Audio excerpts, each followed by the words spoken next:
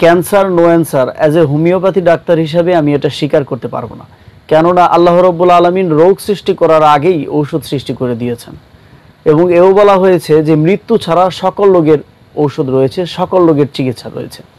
হোমিওপ্যাথিতে ক্যান্সারের চিকিৎসা রয়েছে, ক্যান্সারের চিকিৎসা হচ্ছে এবং হয়। যখন এই ক্যান্সার রোগ প্রথম ধরা পড়ে, অর্থাৎ যখন ক্যান্সার ফার্স্ট স্টেজে থাকে তখন হোমিওপ্যাথি চিকিৎসা নিলে আল্লাহর রহমতে নিশ্চিতভাবে বলা যায় যে ক্যান্সার ভালো হয়ে যায়। যদি ক্যান্সার সেকেন্ড অথবা থার্ড স্টেজে আসে, তখন চিকিৎসা নিলে সময় একটু বেশি লাগে এবং কঠিন হয়ে যায়। আর যদি একেবারে লাস্ট স্টেজে চলে আসে, তখন এটার ম্যানেজমেন্টটা খুবই কঠিন হয়ে দাঁড়ায়। সেজন্য প্রাথমিক অবস্থায় ক্যান্সার হলে হোমিওপ্যাথি মতে আল্লাহর রহমতে খুব দ্রুত চিকিৎসা হয় এবং নিরাপদভাবে চিকিৎসা হয়। সাধারণ মানুষদের মধ্যে যারা বিশেষ করে অত্যন্ত গ্রাম পর্যায়ে আছি, তারা মনে করে যে শুধুমাত্র এলোপ্যাথিতেই ক্যান্সারের একমাত্র ট্রিটমেন্ট। হোমিওপ্যাথিতে অনেক ট্রিটমেন্ট হয়েছে ক্যান্সারের এবং যা রিপোর্ট সহ আমাদের কাছে আছে। যে ক্যান্সার এই স্টেজ পর্যন্ত হয়েছিল, এত পয়েন্ট পর্যন্ত ছয় মাস ট্রিটমেন্ট নেওয়ার পরে বা তিন মাস ট্রিটমেন্ট নেওয়ার পরে তা কমে গিয়েছে এবং সম্পূর্ণ ট্রিটমেন্ট নেওয়ার পরে রোগী ভালো হয়েছে ক্যান্সার থেকে এবং তাদের ইনভেস্টিগেশন সহ আমাদের কাছে রয়েছে। আসসালামু আলাইকুম। আমি আসছি বগুড়া থেকে। আমার মার একটু সমস্যার জন্য।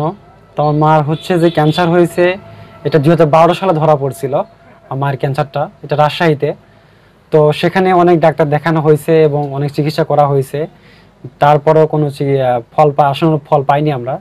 তো ওখানে ডাক্তার সাহেবেরা দেখছে এবং যে চিকিৎসা করছে, প্রথমে যে পরীক্ষা নিরীক্ষা করা হয়েছিল মানে আজ থেকে নয় বছর আগে বা দুহাজার বারো সালে তারপর থেকে সেই চিকিৎসা মানে পরীক্ষা নিরীক্ষা করার পর থেকে আমরা যতবারই ডাক্তারের কাছে গেছি, সেই পরীক্ষার উপর নির্ভর করেই শুধু রোগীর রোগীর কথার উপর নির্ভর করে তারপর এই নয় বছর ধরেই তিনি শুধু ওষুধ দিয়ে গেছেন।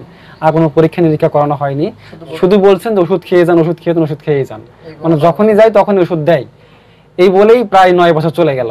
কোনো, আপনার আসানোর কোনো ফল পাইনি তো আমি আসছি বগুড়া থেকে। আমি একভাবে সন্ধান পাই যে ডক্টর আল মাহমুদ নওগাঁতে জেলা পরিষদ পার্কের গেটের সামনে এখানে খিদম হোমিও হল এখানে সেবা দান করেন। তো আমি এখানে শুনছি যেখানে অনেক রোগী এখানে সুস্থ হয়েছেন এবং অনেক রোগী এখানে আসছেন, সুস্থ হয়েছেন। আলহামদুলিল্লাহ সুস্থ হয়েছেন সুস্থ হচ্ছে, সে আসে আমরা এখানে আসছি, আমার মাকে নিয়ে আসছি এখানে। তো আমি যখন ডাক্তারের কাছে যখন আসলাম, ডাক্তারের কাছে আসার পরে আসার পর থেকে ডাক্তার আমার মায়ের সাথে যতক্ষণ সব কিছু কথাবার্তা বলছে মানে একবারে যত রকমের কথা বলা লাগে আর কি, একবার খোলামেলা এবং যতগুলো কঠিন যতগুলো সমস্যা আছে, কি কি সমস্যা হয়, অনেক সময় নিয়ে, দীর্ঘ সময় নিয়ে, আমি কোথাও দেখিনি যে কোনো ডাক্তার কোনো রোগীর সাথে এতক্ষণ বসে কথা বলে এবং সব রোগের বর্ণনা শোনে। তো আমি এখানে দেখলাম যেন ডাক্তার আমার সামনে আমার মায়ের সাথে অনেকক্ষণ অনেকক্ষণ কথা বলল এবং নিজে দেখল যে কোথায় কি রকম সমস্যা সব কিছু শুনলো এবং দেখল। তো অনেকক্ষণ ভেবে চিনতে উনি ভালো করে চিকিৎসা করলেন। তো আমরা এখানে আসার পরে ডাক্তার যে যে বিচক্ষণতার সাথে আমার মাকে দেখলেন, তো আশা করছি ইনশাল্লাহ আমার মা খুব দ্রুতই সুস্থ হবেন, যে এখানে অনেক রোগী আসে, সুস্থ হয় এবং আমরা আসি এবং আপনারাও আসেন। যে কোনো সমস্যা জটিল বা কঠিন যে কোনো রোগের কারণে এখানে আসতে পারেন। উনি খুব ভালো চিকিৎসা করেন। ইনশাল্লাহ আপনারাও সুস্থ হবেন এবং আপনারা আসতে পারেন। আজকের এই ভিডিওটি করলাম। আমার ফেসবুকে যারা ফ্যান ফলোয়ার্স আছে, তাদের মাঝে ভিডিওটি শেয়ার করার জন্য। তো কারও অনুমতি ছাড়া তো ভিডিও করা যায় না। আপনারা অনুমতি দিলেন তো নাকি? হ্যাঁ অবশ্যই। আমি আল্লাহর কাছে প্রার্থনা করি এই মরণ ব্যাধি যেন কোনো মানুষকে না দেন। তারপরও যদি কেউ এই রোগে আক্রান্ত হয় বা হয়েছেন সেই সমস্ত হতাশাগ্রস্ত অসহায় রোগীদের উদ্দেশ্য করে আহ্বান জানায় যে চলে আসুন।